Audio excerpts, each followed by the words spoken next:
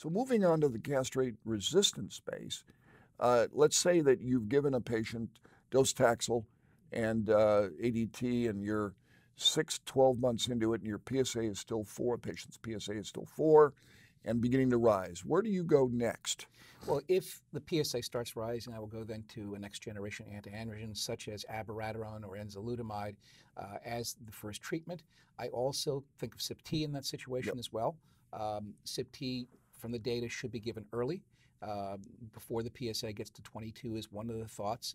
Uh, but remember, back to the IMPACT trial, there were patients who had chemotherapy on that study. I know. So that and the it's a- median PSA was like 100 and something. E- Exactly, but I, I think that it's it's underused and I think it's underappreciated.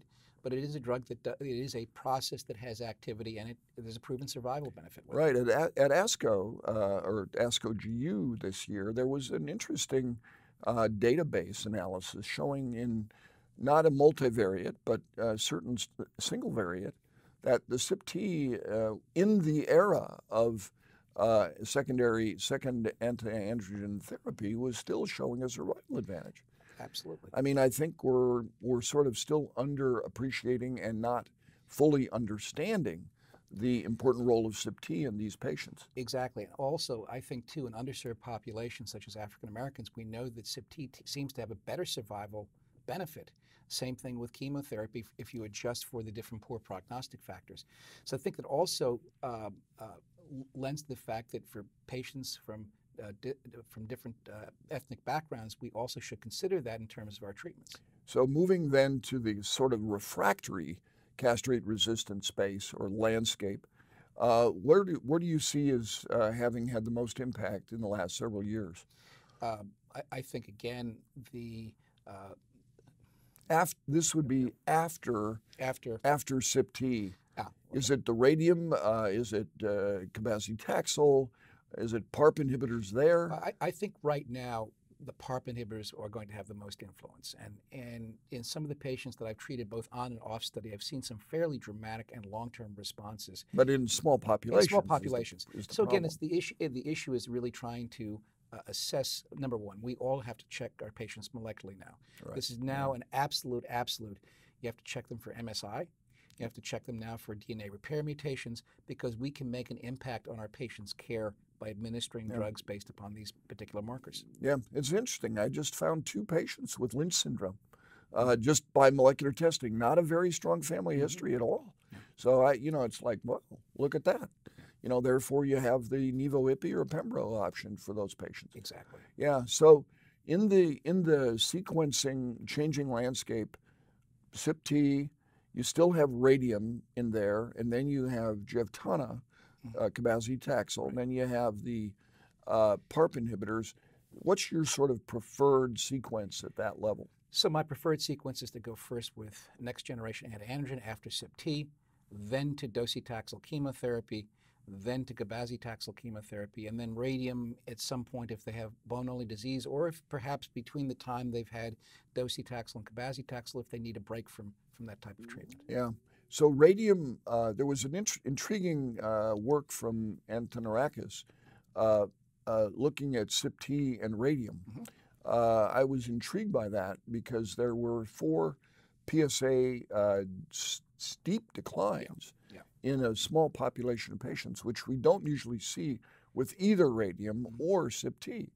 Uh, what's your take on that? Well, I think it's very it's a very interesting uh, biological observation. I think what also was interesting about that study is the fact that they looked at immune parameters. We would have expected that there would have been some upregulation of immune function because of the abscopal effect that we see with radiation therapy. We saw actually the opposite, that there was a downregulation of, of some of the immune parameters they were Yeah, looking at. yeah. So I think the PSA uh, uh, observation is very, very intriguing.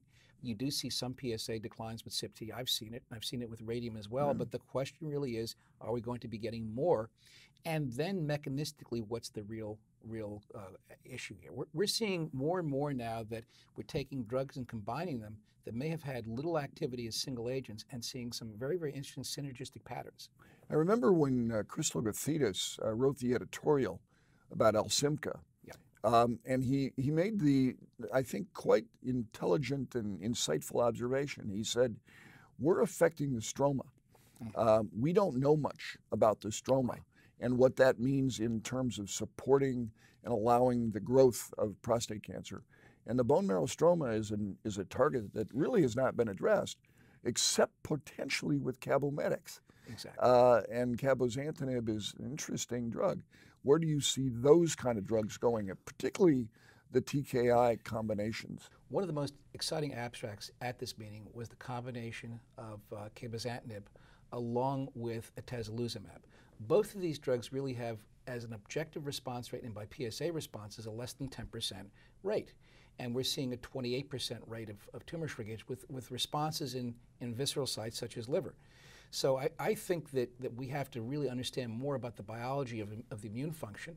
We know that CABO can cause the uh, reduction of myeloid suppressor cells, and this may be a way that we can be, uh, convert a cold tumor to a hot tumor, mm. and then we hit, hit it with a checkpoint inhibitor.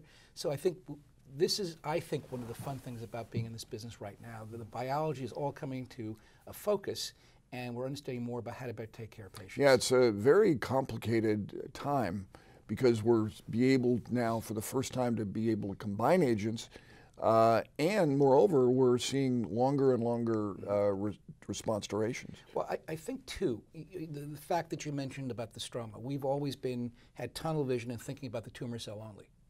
Now we have to think about this in terms of the environment and the, the actual patient and how there's an interaction between the stroma and the tumor.